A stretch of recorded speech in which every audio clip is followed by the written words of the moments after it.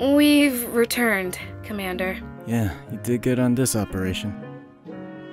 We've managed with minimal waste and resources thanks to you, girls. You're free to take the rest of the day off. Okay, but. How about lightening up once in a while if you're going to compliment us? How are you even pulling off a face like that in such a bright room anyway? It's usually like this when I'm working. Anyways, nothing in particular to report? Um. Well. Me! Requesting more kinds of snacks in the PX! So it gets darker in moments like these, huh? I keep telling you, I have no authority over what they sell in the PX, FNC. Save it for whenever a higher up comes around. But then you'll tell me to keep quiet! No matter how I look at it, our base is really lacking in options.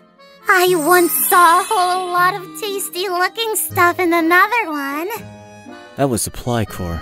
We're infantry. If you want, I could transfer you over. Really? On the other hand, over there you'll be constantly sorting out warehouses, sending out supplies to other units, keeping track of every delivery, crunching numbers if they don't match up, checking again if they don't match up again, and again, and again, and again. I predict you'll probably never have the time to eat anything.